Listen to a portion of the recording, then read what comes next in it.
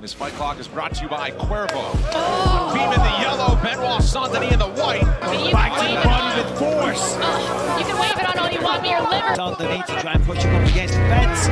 There's a perfect time. He has the legs of boxing grapevine right now. Oh, oh there it is. wow. Nicely done. Usually to get back to the feet. That was wisely done. Saint Denis trying to rip him off the fence.